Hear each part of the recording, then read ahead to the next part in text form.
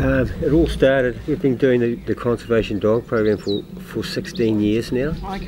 And it started off as training dogs for conservation, and I had three dogs, uh, three different terriers for that, for cats, feral cats, uh, mustelids, and rodents. And Woody comes from a long line of um, predator dogs that I started a breeding program years ago and Okay. one of them actually ended up here at Orokonui with Elton.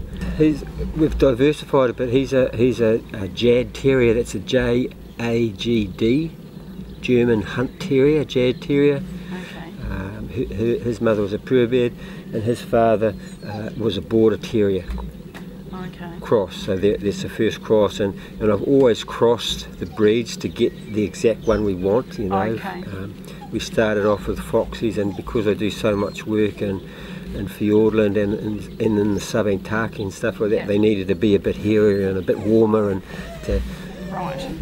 So to handle the conditions. Yeah. These dogs, like they could work eight to ten hours a day.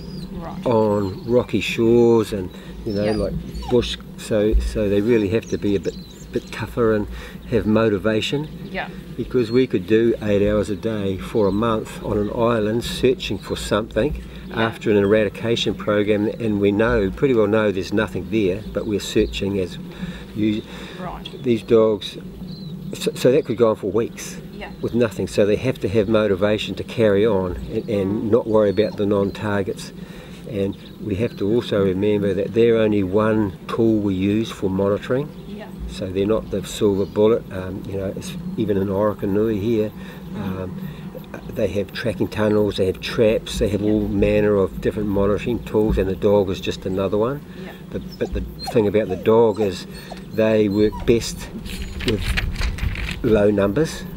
They're more sensitive than any of the other monitoring tools we have.